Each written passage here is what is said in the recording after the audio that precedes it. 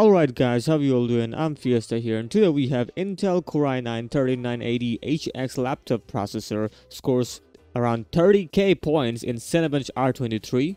EVGA Overclock team there takes their first spot in 3DMark ranking with RTX 4090 prototype which is also the farewell of their GPU making. NVIDIA GeForce RTX 4090 and 4080 laptop pre-orders are starting soon. Some AMD board partners have not released their RX 7900 GPUs yet, so we still need to get yet to get these GPUs. Interesting. And lastly, we have Intel Core i9 3900KF, which probably the most, the I should say the best CPU for overclocking, according to the Raptor Lake binning report. So firstly, we have Jarrod's Tech just uh, did some benchmark for the MSI Raider GE78HX, which is the latest model of 2023, and which also uh, features the Intel Core i9 13980HX. And as you can see in Cinebench R23, this is the benchmark that he did, is getting like in single core around 2135, and in multi-core it's getting 30,498, which is the reaching the 30,000 mark, which is great beating literally the predecessors of 12950HX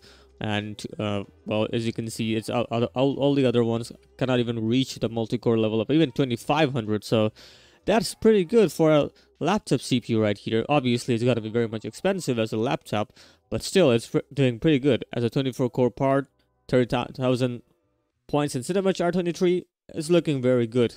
I wonder what AMD has to offer in this competition Next up, we have Biso Biso, right, I should say, at Bum Photo 1. He's uh, basically a part-time overclocker, and basically he is uh, saying that this is our last dance, and sorry to let you censoring a lot of F-words, well, basically thanking Gamers Nexus, which basically Gamers Nexus, uh, well, did basically a blog about the uh, EVGA's uh, how they made their last GPU, that prototype one, the RTX 4090, which again hasn't got released because it was a prototype and well we all already know what happened with EVGA and Nvidia. They took uh, well the partnership went off so that's kind of sad. And well this is the farewell for the EVGA to not make any like GPUs anymore. That's kind of really sad but yeah what else we can do right Next up, we have IT Home published this article here, and we have RTX 4090 slash 4080 gaming notebooks basically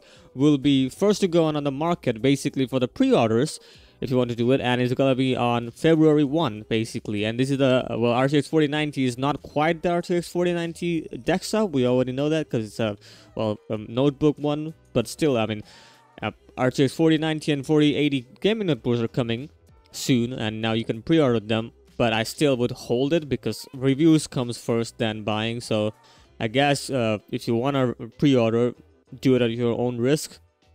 And it is going to be available in February 1 for pre-orders only. Next up we have VideoCardz reporting this that some AMD board partners like Vastarmor and Dataland haven't uh, released their RX 7900 GPUs yet.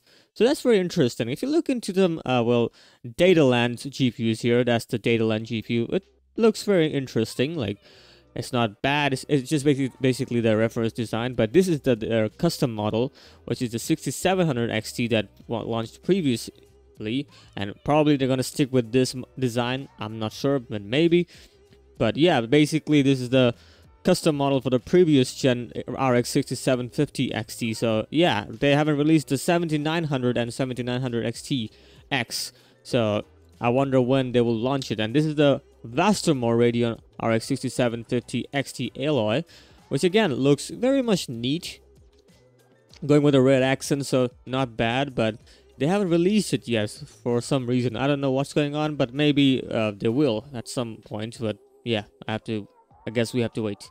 Next up, we have Tom's Hardware reporting uh, Igor's Labs report here. Basically, the uh, this is a report from the binning stats reveal, or binning stats, I should say. And well, if you look into some stats reports here, right here, if you go into the top, this is the well. First of all, if you I have to mention this, that the uh, SP stands for Silicon Prediction, which uh, again is a feature that comes with the ROG Strix boards, the Maximums and the Strix boards that kind of calculates the formula to like assess silicon quality And well, if you look into some graphs here or the charts here, the Core i9 3900K and the 3900KF, if you look into it, they're the, uh, in terms of average silicon production uh, rate, they're pretty close and they're doing really good compared to the i7. And again, this is the overclocking rate, so obviously it, it seems like the i9 models are doing pretty well, specifically the 3900KF model.